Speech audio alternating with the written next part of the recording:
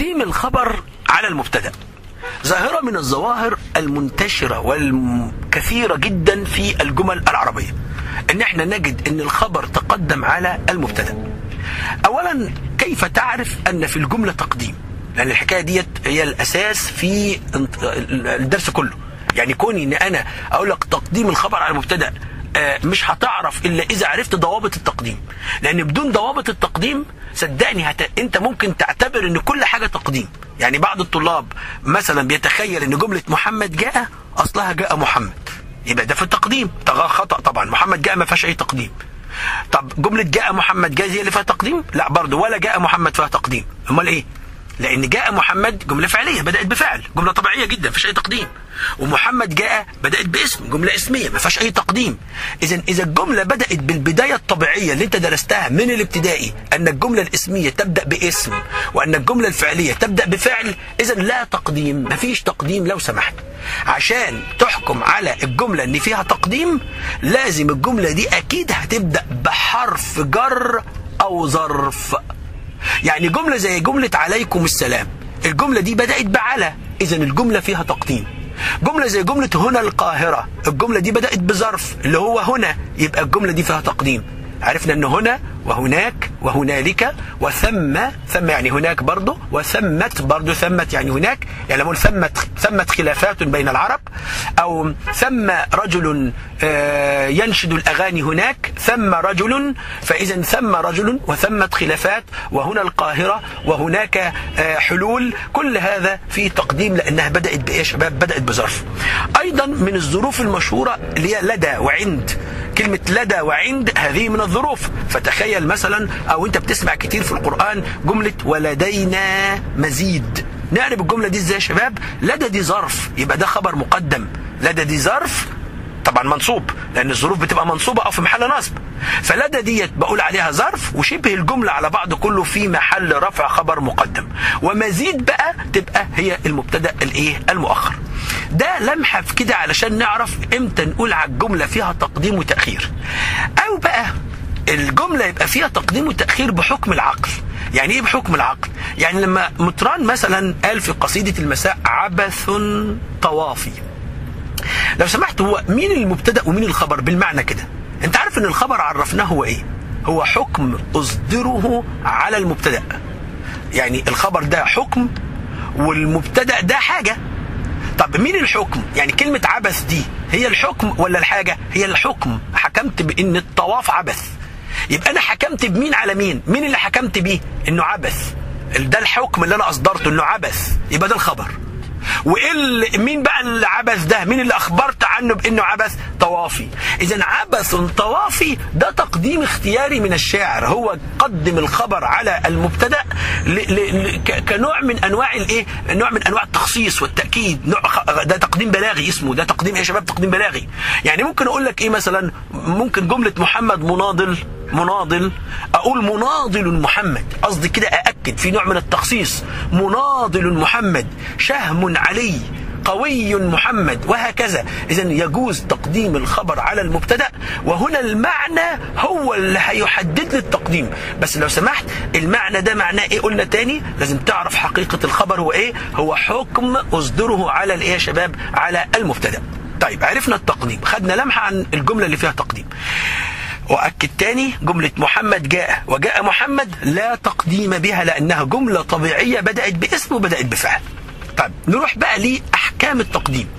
أحكام التقديم أو تقديم الخبر حكمه ينقسم إلى حاجتين.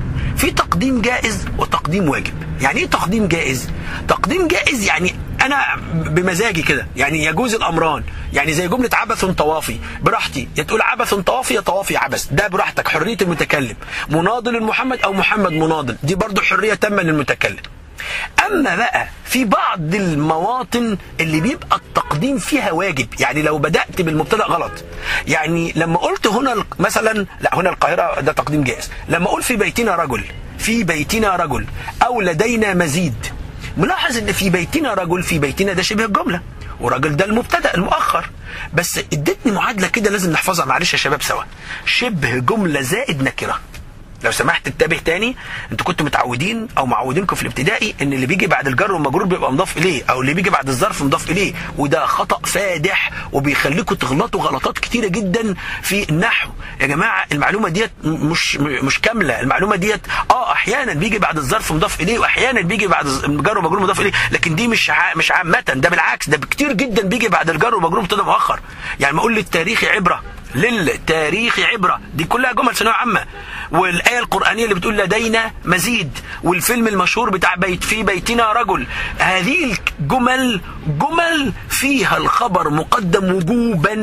ليه وجوبا عشان قلت لك احفظ معايا شبه جملة زائد نكرة.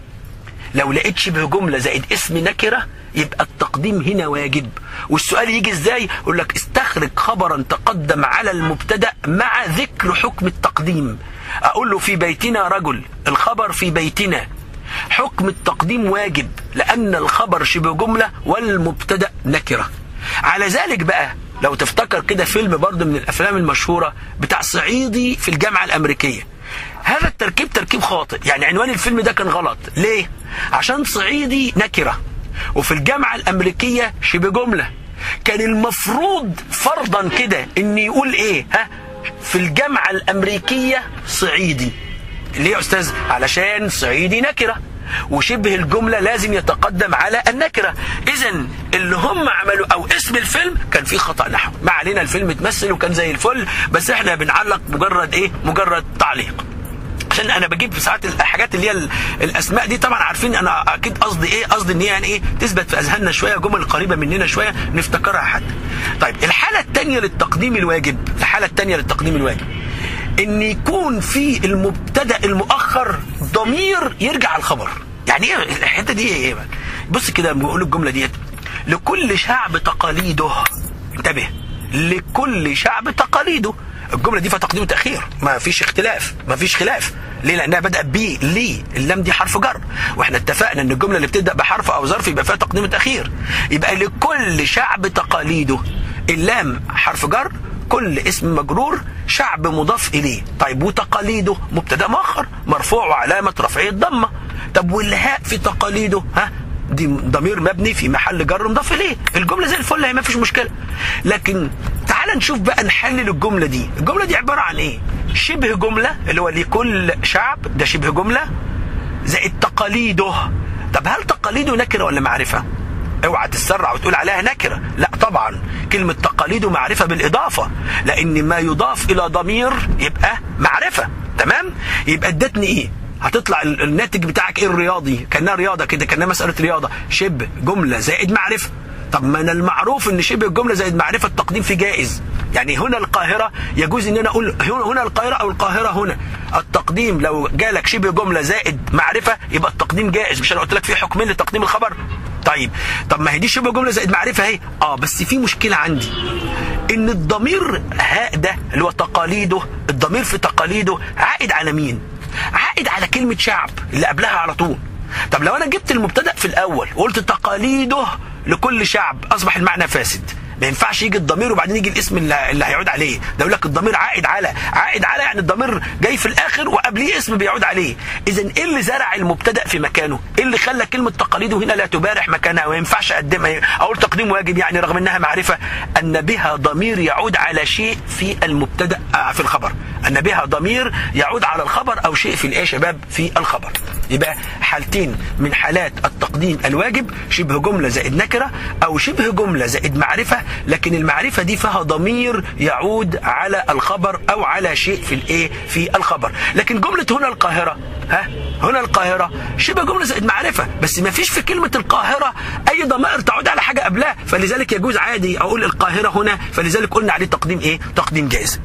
الحالة الثالثة لتقديم الخبر وجوبا على المبتدأ لازم أقدمه وجوبا إن أنا إن يكون الخبر اسم من أسماء الاستفهام اللي لها الصدارة. يعني إيه لها الصدارة؟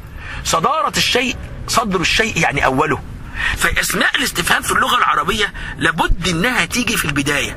يعني ما أقول أين محمد؟ متى الرحلة؟ كيف حالك؟ أين ومتى وكيف؟ دي أسماء استفهام مش حروف. هل والهمزة هي اللي حروف؟ مالناش دعوة بيها. هل دي حروف لا محل لها من إعراب؟ واللي يجي بعدها مبتدأ. لو وقع بعد هل والهمزة اسم بيقع مبتدأ.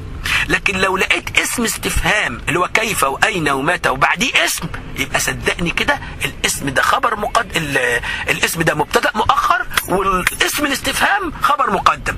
مثال أقول مثلا أين محمد؟ أو أحط علامة استفهام. اعرب الجملة دي.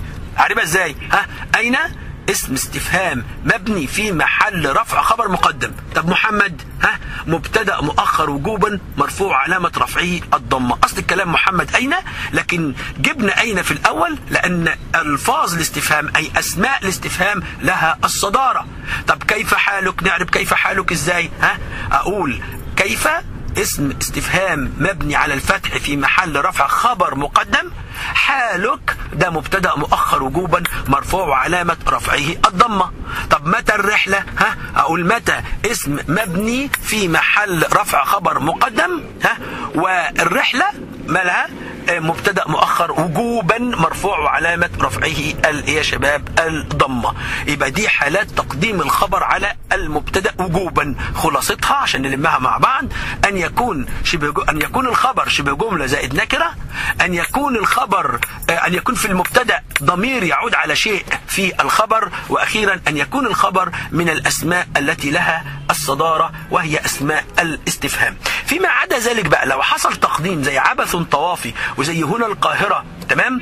هذا التقديم يكون تقديم جائز لأغراض بلاغية وهي القصر وإيه يا شباب؟ والتخصيص. وأرجو الانتباه لقضية تقديم الخبر على المبتدأ لأنها قضية مهمة للغاية.